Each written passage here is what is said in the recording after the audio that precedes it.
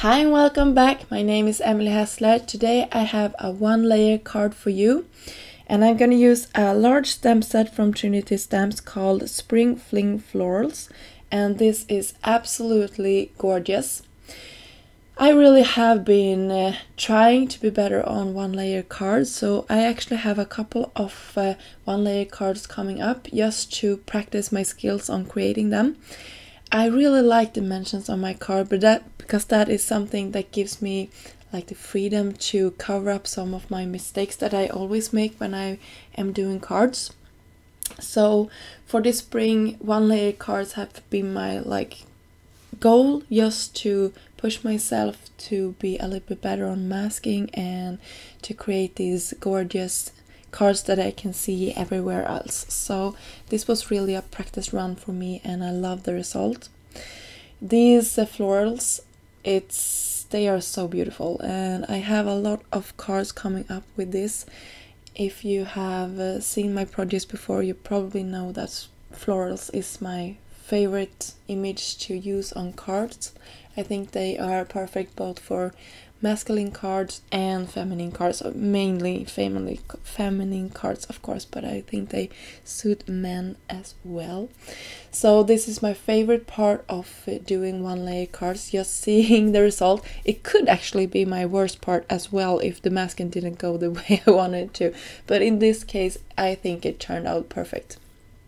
So you can see here when i am taking away that last mask uh, how the image turned out. And these masks I'm gonna save and use in future proje projects.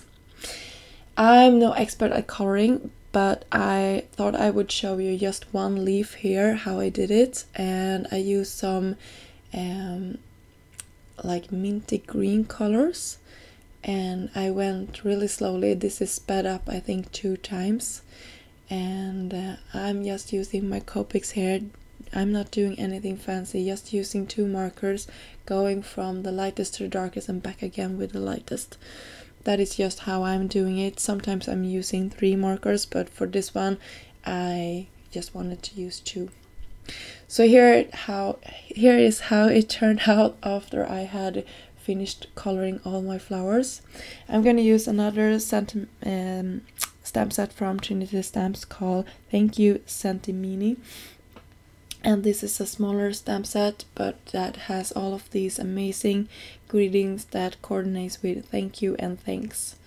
So since this was a new stamp set to me and I haven't used it before I decided to prep my stamp just using uh, I think it was an eraser. Uh, yes it was an eraser this time. I sometimes use Versamark and just rub it off with a cloth or something like that but this time I used um, as you could see an eraser. And I inked this up twice and that is why I love to use my MISTI just to make sure that I get a perfect impression. And I filled my card in the light and I can see if the mark that I used is uh, covering up the whole image. As you can see I got some spots where I didn't want my embossing powder and I'm just brushing them away. So here how it turns out out after I had heat set my embossing powder. Now I'm gonna go in with a light gray color and this is also a Copic marker and I will cover not cover I'm sorry go around my whole image here the outline part and just make sure that I create a little bit more depth and dimension. This is something I have been seeing other card makers do when they have like these one layer cards and it really makes a big difference. I don't think you can see it here on screen how big of a difference it is but it really is.